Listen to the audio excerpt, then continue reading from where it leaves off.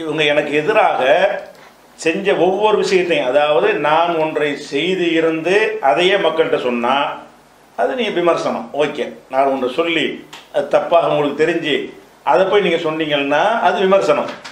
நான் ஒன்றை சொன்னதை வந்து திரிச்சு வேறு அர்த்தம் தரக்கூடியதை வந்து உங்களுக்கு தோதுவான அர்த்தமாக மாற்றி போய் நீங்கள் சொன்னீர்கள் சொன்னால் என்னை அழிக்கணும் என்கிற ஒரு வன்மம் உங்கள்கிட்ட இருக்குதுங்கிறது தான் அர்த்தம் என்பதை நான் என்ன செஞ்சிருக்கேன். ஒன்றுனா இதெல்லாம் எதை காட்டுதுன்னு கேட்டால் எனக்கு எதிராக அவர்கள் எடுத்த அந்த நடவடிக்கைங்கிறாங்கல்ல அந்த நடவடிக்கைக்கு முன் நடவடிக்கைக்கு பிறகு அவங்களுடைய ஒவ்வொரு செயலும் காட்டுது இவனை டோட்டல் வாஷ் அவுட் பண்ண எந்த ரேஞ்சுக்கும் இறங்கலாம். இருக்கிறாங்க. எந்த ரேஞ்சுக்கும் இறங்கலாங்க போய் தான் என்ன செய்கிறாங்க அதை சொல்கிறாங்க இதே மாதிரி ஒரு விஷயத்தை சொல்வதாக இருந்தால் இப்போ வந்து நம்ம நாகரிகமாக பேச வேண்டும். ஒரு ஆபாசமான அருவருக்கத்தக்க விஷயங்களை ஒரு சபையில் ஒரு எதிரியை பார்த்து பேசக்கூடாது என்ற நம்ம ஒரு பிரச்சாரம் பண்ணிக்கிட்டு இருக்கிறோம். அதில் அந்த மாதிரியான பண்ணக்கூடாது. அப்படி சொல்லும்போது இவங்க என்ன செய்கிறாங்கன்னு கேட்டால் இப்போ ரஹமத்துல்லாங்கிறவனும் அதை செஞ்சுருக்கிறான். கடந்த காலத்திலையும் இதே ஆளுக்கு வந்து இந்த இதே விஷயத்தை செஞ்சார்கள். என்ன விஷயம்னு கேட்டால் நான் வந்து தேவடியா மோனே அப்படிங்கிற ஒரு வார்த்தையை ஒரு யாரை பார்த்தோ பேசின மாதிரி. தேவடியா மோனேங்கிற மட்டும் சவுண்டு மட்டும் உங்களுக்கு வரும். என் குரல்ல. தேவடியா மோனேன்னு வந்தோன்னு என்ன செய்வீங்க? ஏடா இந்த மாதிரி வார்த்தையெல்லாம் வந்து ஒரு சபையில் பேசினாலும் தப்பு தானே ஒரு நபரை பற்றி பேசினாலும் தப்பு தானே இவன் இவ்வளோ கீழ்த்தனமாக பார்த்தீங்களா? பிஜே பார்த்தீங்களா? எப்படிப்பட்ட ஆளாக போயிட்டான்னு பார்த்தீங்களா? எவ்வளோ நாகரிகமாக பேசிகிட்டு இருந்த ஒரு இதில் வந்துக்கிட்டு இவன் தேவடியா முன்னாடி பேசியிருக்கிறான். அப்படின்ற ஒரு செய்தியை வந்து இந்த இறுதி எச்சரிக்கை என்று பேசுகிற ரஹமத்துல்லாங்கிறவனு அதை கட் பண்ணி போடுறான். தேவடியா மோகன் என் குரல் வரும். அதை போடுறான். முட்டா பயிலன்னு ஏன்டா திட்டுனேன்னு நீங்கள் கேட்குறீங்க நீங்கள் முட்டா பயிலன்னு சொன்னதா அர்த்தம் அதுக்கு? முட்டா பயிலன்னு ஒருத்தன் வந்து எக்ஸ் எக்ஸ் ஒருத்தன் திட்டுறாங்கள நீங்கள் என்ன செய்றீங்க? ஏன்டா என்னை முட்டா பயிலன்னு சொல்கிறேன்னு கேட்குறீங்க அதை மட்டும் வெட்டி போட்டு முட்டா பயிலன்னு சொல்லிவிட்டாண்டா எப்படி இருக்கும்? இப்படி செஞ்சவன் என்ன தரத்தில் உள்ளவனா இருப்பான்? என்னென்ன மாதிரியான டக்கால்ட்டி பண்றாருன்னு மக்கள் அப்படி நூல் பிடிச்ச மாதிரி பார்க்குறாங்க. ஏங்க அந்த கேவலமான வீடியோ எடுங்க. என் ஃபோனுங்க அது கொடுங்க. இவன் எந்த அளவுக்கு டக்கால்ட்டி பண்ணாலும் மக்கள் கண்டுபிடிச்சிருவாங்க பாருங்க. கீழ்த்தரமாக நம்ம பேசுவோமானா நமக்கு வர மாட்டேங்குது. அதுபோக அவனுடைய த தரத்துக்கு இறங்கி கீழ்த்தரமாக நம்ம பேசுவோமானா நமக்கு வர மாட்டேங்குது. வரணும்ன்ற ஒரு கோபம் வந்தா கூட அது மாதிரி வந்து நமக்கு வர மாட்டேங்குது தேவடியா பசங்களா கீழ்த்தரமாக நம்ம பேசுவோமானா நமக்கு வர மாட்டேங்குது தேவடியா பசங்களா என் மீது காவல்துறை மூலம் வழக்கு பதிவு செய்யப்பட்டிருப்பதாக ஒரு செய்தியை சமூக வலைத்தளங்களில் பரவலாக பரப்பி வருகிறார்கள். இது குறித்த விவாதங்களைத்தான் அனைவரும் செய்து கொண்டிருக்கிறார்கள். இவ்வளவு பெரிய மக்கள் எழுச்சியை திரட்டி நம்ம ஒரு பொதுக்கூட்டம் நடத்தியிருக்கிறோம். அது மாநாடு போன்ற மக்கள் மத்தியில ஏற்படுத்தி இருக்கிறது அது குறித்த செய்திகள் பேசப்படுவதிலிருந்து திசை திருப்புவதற்காக இந்த மாதிரியான ஒரு செய்தியை டிஎன்டிஜே என்ற வழிகட்ட இயக்கத்தினர் பரப்பி வருகிறார்கள். நம்முடைய சகோதரர்களும் இதை அறியாமல் இந்த ஒரு விஷயத்திலேயே தங்களுடைய நேரங்களை போக்கிக் கொண்டிருக்கிற காரணத்தினால்தான் இதை ஞாயிற்றுக்கிழமை நேரலை வரை தள்ளி வைக்காமல் இப்போது இது குறித்த ஒரு செய்திகளை கூறி நம்ம முடிவுக்கு கொண்டு வருவோம். முதலாவதாக ஒரு விஷயத்தை நம்ம விளங்கிக் கொள்ள வேண்டும். காவல்துறையில யார் போய் புகார் கொடுத்தாலும் அதுக்கு ஒரு ரெசிப்ட் கொடுப்பாங்க. சிஎஸ்ஆர்னு சொல்லி ஒரு ரசீது கொடுப்பாங்க. பொய்யான புகாரை கொடுத்தாலும் அந்த ரசீதை கொடுப்பாங்க. அதனுடைய உண்மைத்தன்மை என்ன என்பதை எல்லாம் விசாரித்த பிறகு அதன் மீது என்ன செய்வாங்கன்னா ஒரு எஃப்ஐஆர் என்று முதல் தகவல் அறிக்கையை அடுத்தபடியாக போடுவாங்க. அதன் பிறகு அது சரியா இல்லையா என்பதை பார்த்து விசாரணைக்கு எடுத்துக்கொண்டார்கள் என்றுதான் அதுக்கு அர்த்தம். சார்ஜ் ஷீட் போட்டாதான் குற்றப்பத்திரிகையை தாக்கல் பண்ணியாச்சுன்னு அர்த்தம். அப்ப எஃப்ஐஆர் போடுவதற்கு அர்த்தம் என்னன்னு கேட்டா முதல் தகவல் அறிக்கை ஃபர்ஸ்ட் இன்ஃபர்மேஷன் ரிப்போர்ட் அதான் எஃப்ஐஆர் அப்ப முதல் தகவல் அறிக்கையில இதை வேணாலும் கொடுத்தோம்னா போடுவாங்க. அது ஒரு கூட்டமா திரண்டு போய் இதுக்கு நீங்க எஃப்ஐஆர் கொடுத்தா ஆகணும்.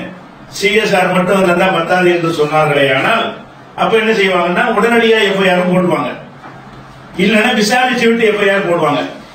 எஃப்ஐஆர் போட்ட பிறகு அது சரியா தவறா என்பதை ஆய்வு செய்து அதை க்ளோஸ் பண்ணிடுவாங்க. சார்ஜ் ஷீட்ல போடாம இது வந்து ஃபால்ஸ் பொய்யான கம்ப்ளைண்ட் என்று சொல்லிவிடுவார்கள். ஒரு சாதாரண ஒரு விஷயம். இது பெரிய பாரதூரமாக ஒரு விளம்பரப்படுத்துகிற ஒரு விஷயமே இல்லை. உதாரணத்துக்கு சொல்வதாக இருந்தால் மேலப்பாளையத்தில் இந்த வேலூர் இப்ராஹிம் என்பவரை வந்து அங்க உள்ள மேலப்பாளையத்தை சேர்ந்த சகோதரர்கள் அவரை அஹ், என்ற ஒரு சகோதரருடைய வீட்டில் புகுந்து தாக்கினார்கள். தாக்கியதாக ஒரு ஒரு வழக்கு பதியப்பட்டது. அதுல யாரெல்லாம் தாக்கியதாக சொல்லப்பட்டதோ அவர்கள் மீது எல்லாம் எஃப்ஐஆர் போட்டார்கள். அப்படி புகார் கொடுக்கும் பொழுது அவர்கள் என்ன மாதிரி சொல்லி கொடுத்தார்கள் கேட்டா அதாவது தாக்கப்பட்டவர் என்ன சொல்றாருன்னு கேட்டா என்னை அடிக்கும் பொழுது பிஜே சொல்லிதான் உன்னை அடிக்கிறோம். சம்சுல்லுகா சொல்லிதான் உன்னை அடிக்கிறோம்னு சொல்லிவிட்டு அடித்தார்கள். அப்படின்னு சேர்த்து விட்டால் நம்மளே அந்த கேசரி சேர்த்துவாங்க? சரியா? நம்ம இங்க நம்ம சென்னையில் இருக்கிறோம். அந்த அடிப்பதிலையும் மற்ற இதுலயும் நமக்கு சம்பந்தம் இல்லை. அப்படி இல்லாட்டா கூட புகார் கொடுத்தவர்கள் ஒரு தாக்குதலுக்கு உள்ளான வந்து என்னை அடித்தார் என்று சொன்னால் அந்த கேச போடுவாங்க. அடிக்கும் பொழுது அசிங்கமான வார்த்தைகள்லாம் சொல்லி என்னை வந்து அடிச்சாருன்னு சொன்னா அது கேஸையும் சேர்த்துக்குவாங்க. அடிக்கும் பொழுது இவர் தூண்டி விட்டு தான் எங்க தலைவரையா நீ பேசுகிறாய்? அப்படின்னு சொல்லிவிட்டு அடித்தார் என்று சொன்னா அவர் என்னை எங்களை காப்பாற்றுவார் எங்களுக்கு எல்லா சப்போர்ட்டாவும் இருக்கிறார் பிஜே அப்படின்னு சொல்லி கொண்டு அடித்தார்கள் என்று அந்த எஃப்ஐஆர்ல சொன்னார்களே ஆனால் அதை கேஸ்ல சேர்த்துருவாங்க. இது சாதாரண ஒரு நடைமுறை. இந்த மாதிரி வேலூர் இப்ராஹிமுடைய ஏன்னா அந்த நடைமுறை விலகிக் கொள்வதற்காக வேண்டி இதை நான் சொல்றேன். வேலூர் இப்ராஹிம் போர் போட்ட வழக்கில் வந்து இப்ப என் மீதும் லுகாவின் மீதும் எஃப்ஐஆர் போட்டார்கள். போட்ட பிறகு அந்த எஃப்ஐஆர் கடாசிட்டாங்க. அப்புறம் அவருக்கு கோர்ட்ல போய் என்ன செய்யறாரு அவங்க நடவடிக்கை எடுக்கணும்னு கே- கேஸ் போட்ட உடனே அப்ப மறுபடியும் போ- போலீஸுக்கு ஒரு நெருக்கடி வந்த பிறகு நம்ம மேலே அந்த வழக்கு என்ன செஞ்சாங்க சார்ஜ் ஷீட் போடுறதுல சேர்க்கிறாங்க. சேர்க்கும் போது நம்ம ஒரு முன்ஜாமீன் வாங்கிக்கலாம் வந்து யோசிக்காது முன்ஜாமீன் வாங்கணும். அது மாதிரி அந்த பிரச்சனை கொஞ்சம் வச்சு சாதனம் போடுவாங்க. இது பெரிய விஷயம்லாம் கிடையாது. இதே மாதிரி வேலூர் இப்ராஹிமுடைய இரண்டாவது மனைவி சர்தாஜி பேகம் அப்படிங்கிறவர் என்ன செஞ்சாருன்னா இங்க சென்னையில ஒரு வழக்கு ஒண்ணு போட்டார் திருவள்ளிக்கேணியில ஜாம்பஜார்ல என்ன வழக்கு? அந்த அந்த பெண்ணு வந்து நான் வந்து பெண்ணை டார்ச்சர் பண்ணணும் யாரு? வேலூர் பேரனுடைய மனைவியை வந்து டார்ச்சர் பண்ணாருன்னு சொல்லி என் மீது ஒரு போட்டார்கள். அதுக்கு விசாரணைன்னு சொன்னார்கள். நம்ம எல்லாம் எக்ஸ்பிளைன் பண்ணணும் பொய். அப்படின்னு சந்தர்ப்பம் இல்லைன்னு சொன்னோன்னே அதை முடிச்சு வைத்து விட்டார்கள். இப்படி எல்லாம் போடுவதும் விசாரிப்பதும் முடித்து வைப்பதும் என்பது ஒரு சாதாரண ஒரு விஷயம் தான் இது. இப்படியான வகையில் என்ன நடக்குது கேட்டா இந்த அப்துல்லா என்பவர் வந்து அவங்க அலுவலகத்துல போய் ஒரு போஸ்டர் ஒட்டினாராம். ஒட்டுன ஒட்டுனதுக்காக வேண்டி இவங்க சந்திச்சு கேட்டாராம். அப்துல்லாவை எப்படிப்பா நீ வந்து ஒட்ட போச்சு? அப்ப அப்துல்லாவுக்கு பயங்கரமான வார்த்தை அந்த எஃப்ஐஆர் படிச்சு உங்களுக்கு தெரியும். அந்த மாதிரி எல்லாம் அவர் சொன்ன உடனே அதை வைத்து என்ன செய்யறாங்கன்னா போலீஸ்ல ஒரு கம்ப்ளைண்ட் கொடுத்தவங்க பிஜே தூண்டி விட்டு தான் பிஜே தான் என்னை விட்ட சொன்னாரு. அப்படின்ட்டு அப்துல்லா சொன்னதாக சேர்த்துக்கிட்டார்களே ஆனால் அப்ப அந்த கேஸ்ல என்ன செய்வாங்க? சேர்ப்பாங்க. இது ஒரு சாதாரண ஒரு விஷயம். அப்படி சேர்க்கும் பொழுது இது நல்லா கவனிக்கிறது இருபத்தி ஒன்னாம் தேதி எஃப்ஐஆர் சிஎஸ்ஆர் வாங்குறாங்க. இருபத்தி ரெண்டாம் தேதிக்கு போய் வலியுறுத்தி இதுக்கு எஃப்ஐஆர் கொடுத்து ஆகணும். அப்படின்னு சொல்லி போய் பிரச்சனையாக்கி அந்த எஃப்ஐஆரை எதுக்கு வாங்குறார்கள் கேட்டா இருபத்தி நாலாம் தேதி கூட்டத்தை தடுப்பதாக இருந்தால் இந்த ஒரு எஃப்ஐஆர் உங்களுக்கு தேவை. இந்த எஃப்ஐஆர் வைத்துக் கொண்டு மேலவர் அதிகாரிகிட்ட போய் இந்த மாதிரி எங்களை எல்லாம் மிரட்டுகிறார்கள் எங்களுக்கு பயங்கரமான அச்சுறுத்தலா இருக்கிறது அப்படின்னு சொல்லிவிட்டு போலீஸ் பாதுகாப்பு அளிக்கிற மேல அலுவலகத்துக்கு எங்களுக்கு நாங்க அவங்கள மிரட்டுறோம் சொல்லி புகார். அந்த மாதிரி பயங்கரமா எங்களை தாக்க இருக்கிறார்கள் என்றெல்லாம் சொல்லி வெள்ளிக்கிழமையில இருந்து மீட்டிங் முடிக்கிற வரைக்கும் டிஎன்டி அந்த தெரு பூரா போலீஸ் ஒதுக்கி வச்சிருக்காங்க எங்களுக்கு பயமா இருக்குது. இப்படி பில்டப் கொடுக்குறது. அப்ப இந்த மாதிரியான ஒரு நிலையில வந்து நீங்க மீட்டிங் அனுமதி கொடுத்தீர்களே ஆனால் அது பெரிய பாரதூரமான பிரச்சனை ஏற்படும். அதை சொல்வதற்கு தான். இந்த மீட்டிங்கை தடுப்பதாக இருந்தால் ஒருத்தருடைய பேச்சுரிமையை கொடுக்காதுன்னு ஒரு கடிதம் கொடுக்க முடியாது. அதுக்கு என்னமாவது ஒரு அலிகேஷனை உண்டாக்கணும். உண்டாக்குவதற்காக என்ன செய்யறாங்கன்னா இருபத்தி ஒன்னாம் தேதி இதற்கான சிஎஸ்ஆர் போட்டு இருபத்தி ரெண்டாம் தேதி எஃப்ஐஆர் வைத்துக் கொண்டு பெரிய பெரிய அதிகாரிகள் தான் போய் விளக்கம் சொல்லி இப்படி வந்து இவர்கள் இப்படியான ஒரு ஆள் பேசக்கூடிய ஒரு ஆளு போலீஸ் அவன் கொடுக்க முடியாதுன்னு சொன்னாரு. இந்த எஃப்ஐஆர் அதனால நீங்க வந்து அதை தடுக்கலன்னு சொன்னா பெரிய கலவரம் ஏற்பட்டு போயிடும் மோதல் ஏற்பட்டு போயிடும் இந்த நிகழ்ச்சியை தடுப்பதற்காக வேண்டி கொடுக்குறாங்க. இதை கொடுத்தவன நிகழ்ச்சி பர்மிஷன் ரத்து பண்ணிடுறாங்க. அதிகாரி என்ன பார்ப்பாங்க? நம்ம இருக்கிற ஏரியாவோட ஒரு மீட்டிங் நடக்குதுன்னு சொன்னா அதனால ஒரு சட்டம் ஒழுங்கு பிரச்சனை ஏற்படும் என்று சொன்னால் அது வேணாங்கிற அடிப்படையில் தான் முடிவு எடுப்பாங்க. எடுத்து எடுப்பட அதுக்கப்புறம் நம்ம என்ன செய்யறோம்? இதுக்கு பிறகு என்ன சந்திச்சு விளக்கத்தை சொல்லி இது என்ன நடந்துச்சுங்கிறதெல்லாம் சொல்லி விரிவாக விளக்கின பிறகு இவர்கள் கொடுத்த கம்ப்ளைண்ட் பொய் என்று நம்ம வந்து நிரூபித்த பிறகு அந்த புகாரத்தை குப்பையில போட்டுக்கிட்டு எஃப்ஐஆர் கொடுத்தாலும் அதுக்கு எந்த ஒரு தொடர் ஆக்ஷன் எடுக்காம ஏன்னா பொய்யை நம்ம கண்டுபிடிச்சிட்டாங்க. அதுக்குரிய ஆதாரங்களை வச்சு. அப்புறம் தான் வீட்டுக்கு பர்மிஷன் வாங்குறோம். இவங்க போட்ட இந்த எஃப்ஐஆர் உண்மைன்னு அரசாங்கம் எடுத்துக்குமையானால் நம்ம கடைசி வரைக்கும் பர்மிஷன் தந்திருக்க மாட்டாங்க. எது பண்ணி இருபத்தி நாலாம் தேதி பர்மிஷன் அந்த நம்முடைய பா- பாபர் மசூதி குறித்த விஷயத்திற்காக நடத்துற மீட்டிங் இருக்க. அதை தடுப்பதற்கு சும்மா போய் சொன்னா சரியா வராது என்பதற்காக வேண்டி இப்படி ஒரு எஃப்ஐஆர் கொடுத்தாங்க. அந்த எஃப்ஐஆர் அதிகாரிகள் என்ன கணக்கில் எடுத்துக்கொள்ள கிடையாது. எடுத்துக்கொள்ள என்ற காரணத்தினால்தான் இந்த மாதிரியான ஒரு நிகழ்ச்சிக்கு நமக்கு அனுமதி கொடுத்தாரு ஓ இப்படிதான் விஷயமா? அப்படின்னு சொல்லி. அது என்ன எஃப்ஐஆர்? எஃப்ஐஆர் படிச்சு நான் வரணும் அந்த எஃப்ஐஆர்ல இவங்க எல்லாம் தௌஹீதுல உள்ள ஆளுங்க தானே நீங்க விளைவிக்கிறீங்க எஃப்ஐஆர்ல எப்படி புகார் கொடுக்குறாங்கன்னு கேட்டா அந்த எஃப்ஐஆர்ல உள்ள புகாரை வாசிக்கிற பாருங்க. அதாவது காவல் நிலையத்தில் உள்ள சரி. காஜா மொய்தீன் ஆண் வயது முப்பத்தி ஏழு தந்தை பெயர் முஸ்தபா. டிஎன்டிஜே மாவட்ட துணை தலைவர். Number nine eight four double zero. Seven double eight six seven. Tamil Nadu Thowheed Jamath Vadachennai மாவட்டம். எண் முன்னூறு நல்ல எண் முன்னூறு மன்னடி. அப்படிலாம் நம்பரே கிடையாது. மன்னடி இங்கிலீஷ் எடுத்தது. அருண்மணக்கு அடுத்து சென்னை ஒண்ணு.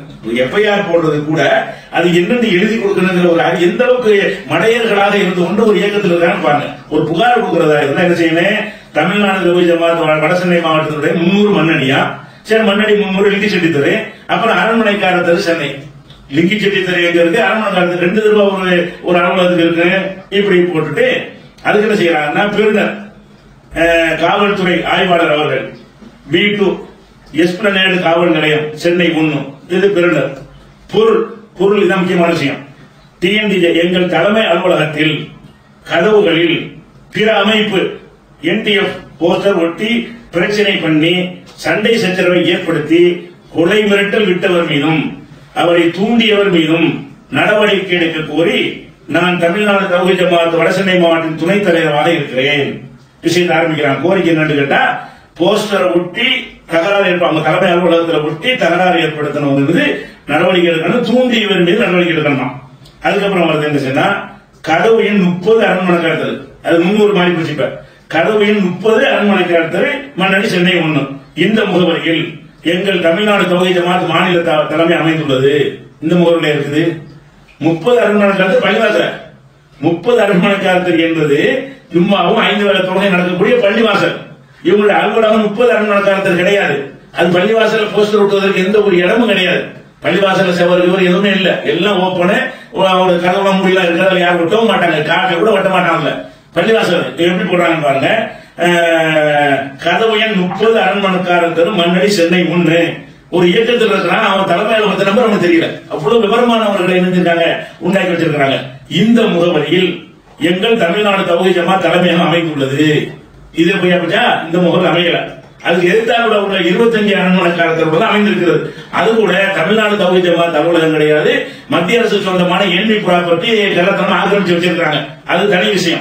அப்ப இவங்க தலைமை அலுவலகம் கிடையாது. இந்நிலையில் நேற்று நள்ளிரவில் ரெண்டு மணி அளவில் என்டி அமைப்பை சேர்ந்த கிருஷ்ணாபேட்டை அப்துல்லா என்பவர் பிஜே அவரின் தூண்டுதலின் பேர் நான் தூண்டுறேன் வகி வந்திருக்கு. தூண்டுதலின் பேரில் தீய நோக்கத்துடனும் வன்முறையை தூண்டும் விதத்திலும் எங்கள் பள்ளிவாசல் வளாகத்திலும் எங்கள் அலுவலக கதவிலும் பள்ளிவாசல் வளாகம். பள்ளிவாசல் வளாகம் என்னமோ ஒன்றரை கிரவுண்ட்ல இடம் இருக்கிற மாதிரியே பள்ளிவாசல் வளாகம் எங்க பள்ளிவாசல் இடம் மொத்தமா வழியாக தான். காலி இடமே கிடையாது. எங்கள் பள்ளிவாசல் வளாகத்திலும் எங்கள் அலுவலக கதவிலும் சுவற்றிலும் அவர்கள் நடத்த இருக்கும் பொதுக்கூட்டங்கள் பொதுக்கூட்டம் சம்பந்தமான போஸ்டரை ஒட்டியுள்ளார். மேலும் அவர் எங்கள் அலுவலகத்தில் ஒட்டியதை செல்வி எடுத்து அவர் முகநூல் மக்கத்தில் போட்டு எங்கள் மக்களின் உணர்ச்சியை தூண்டி திட்டமிட்டு கலவரத்தை ஏற்படுத்த முயற்சிக்கிறார். மீண்டும் மறுநாள் காலை தெருவோரத்தில் வைத்து அங்கே நின்று கொண்டிருந்த மாவட்ட நிர்வாகி என்னிடம் யாரே இந்த அப்துல்லா வந்து இவர் நின்று இருக்கிறார் தெருவுல. அப்ப போய் கேட்கிறானா என்னிடம் நான் ஒட்டிய போஸ்டரை பார்த்தியா என்று கேட்டார். என்று கேட்டாராம். அப்ப அவர் சொன்னாராம் நான் ஏன் பாய் இங்க வந்து போஸ்டரை ஒட்டுகிறீர்கள்? வீண் பிரச்சனை தானே வரும் என்று அவரிடம் கேட்டதற்கு இந்த கிருஷ்ணாபேட்டை அப்துல்லா என்பவர் எங்கள் தலைவர் அண்ணன் பிஜே சொல்லித்தான் செய்தேன். என்ன புடுங்கி புடுங்குவீங்களா என்றும் பொட்டங்க அவரிடம் போய் முட்டுங்கடா என்றும் மிகவும் அசிங்கமான கெட்ட வார்த்தைகளை சொல்லி டேய் நான் அப்படித்தான் விட்டுவேன் என்னடா புடுங்குவீங்க? கோயம்புத்தூர்லயே கேஸ் போட்டீங்களே என்ன புடுங்க முடிந்தது? எங்க தலைவர் பிஜே ஒரு போன் போட்டால் எந்த வழக்கு என்றாலும் புஸ்வானமாக மையத்தாக ஆகிவிடும். எங்கள் பவர் தெரியாமல் இருக்காதீங்க. ஒருத்தரையும் வீதியில் நடக்க விடாமல் கொன்று குவித்து விடுவேன். சட்டம் உங்களுக்கு தான். என்னையோ எங்கள் பிஜே அசைக்க முடியாது. உங்கள் மாநில நிர்வாகிகள் எவனாவது தனியாக கிடைத்தால் கத்தியால் அவனின் கருத்தை அறுக்காமல் விட மாட்டேன் நீங்கள் என்ன கேஸ் போட்டாலும் எங்கள் தலைவர் மேலதிகாரம் பேசி சரி செய்து விடுவார். எந்த போலீஸும் என்னை ஒன்றும் செய்ய முடியாது. பூங்கடா தே- பூங்கடா தேவடியா பசங்களா என்று கூறினார். பூங்கடா தேவடியா பசங்களா என்று கூறினார். பூங்கடா தேவடியா பசங்களா என்று கூறினார். பூங்கடா தேவடியா பசங்களா என்று கூறினார். இவ்வளவு சொன்னாராம். யாரு? அப்துல்லாங்கிறவரு இந்த மாவட்ட துணைத் தலைவர் இருக்கிறான் தௌஹீத் எவ்வளவு துணிஞ்சு பொய்ய அல்லாவுடைய அச்சம் இல்லாம அவர் அப்துல்லா வந்து இத இந்த செய்தி அவர் கேட்டாருன்னு சொன்னா அவர் இது வந்து உண்மையா இருந்தா ஒத்துக்குங்க. நீங்க இதை பாப்பீங்க அப்துல்லா இந்த உரையை பாப்பான்னு நினைக்கிறேன். இல்லைன்னு சொன்னா நீங்க அவரை பையன் முபாரா கிடைக்கணும். இப்படி சொன்னீங்களா இல்லையா? ராஜா மைதி நான் கொண்டாடி முன்னாடி வரேன் நீங்க வா. அது அல்லாவுடைய சாபத்தை கேட்போம். என்று என்ன செய்யுங்க அப்துல்லா இது கேட்டீங்கன்னா நீங்க வர அடைங்க அப்ப தேவையை எப்படிலாம் இவனா சொல்லுவான் முதல்ல அவரும் தனி மனிதர். அவர் போயிட்டு இவரோட பெரிய ஒரு அவர் தான் நிக்கிறாரு. இவர் வாட்டு சட்டமான ஒரு ஆளு. அவர்கிட்ட போயிட்டு நான் வந்து ஒண்ணு விடுவேன் வச்சு விடுவேன் அது தேவையா பசங்களை இப்படி பேசுவானா? இது ஒரு விஷயம். இவருடைய இந்த கலவரத்தை ஏற்படுத்தும் செயல் சமூகத்தில் பதட்டத்தை ஏற்படுத்தி இவங்க புகார் ஒரு ஒரு பதட்டத்தை ஏற்படுத்தல. சதத்தை ஏற்படுத்தி இரண்டு பிரிவினர்கள் மத்தியில் வீணான சண்டைகளை உண்ணும் மற்றும் உண்டு பண்ணும் விதத்திலும் உள்ளது. இதற்கு முன்பும் தௌஹி ஜமாத்தில் உள்ள பெண்களை கேவலமாக ஆபாசமாக பேசி கொலை மிரட்டில் விட்டு கோவை முனியமுத்தூர் காவல் நிலையத்தில் வழக்கு இதே மத புகார் கொடுத்தாங்க பதிவு செய்யப்பட்டுள்ளது. சட்ட ஒழுங்கிற்கு பாதிப்பு ஏற்படும் வகையில் பேசி வருவதை வழக்கமாக கொண்டுள்ள இவருக்கும் இவர் இந்த அளவு குரல் கொலை மிரட்டல் விட இவரை தூண்டிய பி ஜெயலலிதாவினை கைது செய்து பொது அமைதியை நிலைநாட்டி சட்ட ஒழுங்கு பிரச்சனையை பாதுகாக்குமாறு பணிவுடன் கேட்டுக்கொள்கிறேன். இப்படிக்கு ராஜா மைதீன் அப்படின்னு ஒரு புகார் கொடுக்கிறார். புகார் தான் இது. இப்படி செஞ்சார்கள் யார் சொல்லல? போலீஸ் எஃப்ஐஆர்ல என்ன இருக்குன்னு கேட்டா இவங்க அப்படி கொடுத்துருக்காங்க அவர் என்ன செய்யறாருன்னு கேட்டா இந்த ஐபிசி படி வழக்கு பதிவு செய்து விசாரணைக்கு எடுத்துக் கொள்ளப்பட்டது. போலீஸ் எழுதின வாசனை என்ன? இப்படி நீ புகார் கொடுத்திருக்க. அது ஓகே அதை எழுதிட்டு கீழே என்ன செய்யறாங்க இது விசாரணைக்கு எடுத்துக் கொள்ளப்பட்டதுன்னு அந்த எஃப்ஐஆர் காப்பில இருக்குது. நம்ம பேசுவோம் நமக்கு வர மாட்டேங்குது அதே இது எதுக்குப்பா என் மேல இதை செய்றீங்க? எதற்காக எனக்கு எதிராக இந்த வேலையை எதுக்கு செய்றீங்க? அப்ப என்னை வெறுக்கிறதுக்கு என்னவும் செய்வீங்க தானே? என்னை வெறுக்க வச்சா தான் உங்களுடைய எந்த தில்லு முளை நான் சொன்னாலும் ஈடுபடாது. நியாயவான்கள்ட்ட ஈடுபடுறோம். இயக்கம் தான் பெருசுன்ற ஒரு மைண்ட் செட் ஆனவர்களுக்கு ஈடுபடக்கூடாது. ஈடுபடக்கூடாது என்று சொன்னால் என் பக்கம் காதே கொடுக்கக்கூடாதுங்கிற அளவுக்கு வெறுப்பை விதைக்க வேண்டும். அப்படி வெறுப்பை விதைத்தீர்கள் என்று சொன்னால் அப்போ என்ன செய்யணும்னா நீங்களுடைய கோடி களவாண்டது நான் சொன்னாலும் காதில் போய் ஏறாது. எவ்வளோ அநியாயம் பண்ண சொன்னாலும் காதில் ஏறாது. மார்க்கத்தில் விளையாடிட்டாங்கன்னு நான் சொன்னாலும் என் காதை கே சேர்த்து பேச்சை கேட்டவுடனே காதை அடைச்சிக்கிருவீங்க. இதை உண்டாக்குறதுக்கு என்ன செய்யணும்? நான் சொல்ல அதெல்லாம் சொல்லணும்னு சொல்லணும். இதை சிந்திச்சு பாருங்க இப்படி ஒரு ஐக்கியத்தை யாரும் பண்ணலாமா? உங்களை ஒரு முட்டா பையனும் திட்டான் முட்டா பையன் ஏன்டா திட்டினா? நீங்கள் கேட்குறீங்க நீங்கள் முட்டா பையன் சொன்னதா அர்த்தம் அதுக்கு? முட்டா பையலன்னு ஒருத்தன் வந்து எக்ஸ் எக்ஸ் ஒருத்தன் திட்டுறான் உங்களை. நீங்கள் என்ன செய்றீங்க? ஏன்டா என்னை முட்டா பையலன்னு சொல்றேன்னு கேட்குறீங்க அதை மட்டும் வெட்டி போட்டு முட்டா என்று சொல்லிவிட்டாண்டா எப்படி இருக்கும்? இப்படி செஞ்சவன் என்ன தரத்தில் உள்ளவனா இருப்பான்? இவனை எந்த லிஸ்ட்ல இவனை வைப்பது? இதுல எல்லாம் கள்ளத்தனம் பண்ணக்கூடியவன் ஹதீஸ்ல ஏன் பண்ண மாட்டான்? இதுல எல்லாம் கள்ளத்தனம் பண்ணக்கூடியவன் காசுல ஏன் பண்ண மாட்டான்? இதுல எல்லாம் கள்ளத்தனம் பண்ணக்கூடியவன் ஒருத்தனை அழிப்பதற்கு ஏன் அவதூறுகளை சுமத்தி இருக்க மாட்டான்? அப்படி சிந்திக்க மாட்டீங்களா? அப்ப அதை எந்த கேட்க தேவடியாமனோட ஏன் நீங்க அலசலாத? அதை ஏன் ஆராயவில்லை? எந்த உரையில் எப்ப சொன்னாரு? பயான்ல சொன்னாரா? அல்லது தனிப்பட்ட ஆளை பத்தி சொன்னாரா? இந்த துண்டா ஒரு சொல்லு மட்டும் வராத அதுக்கு முன்பின் என்னன்னு கேட்டீங்களா? இதை நீங்க செஞ்சு பார்க்கணும். அதே மாதிரி வந்து எப்படிலாம் நான் சொன்னதெல்லாம் எப்படி எப்படி திசை இருக்கிறாங்கன்னு பாருங்க.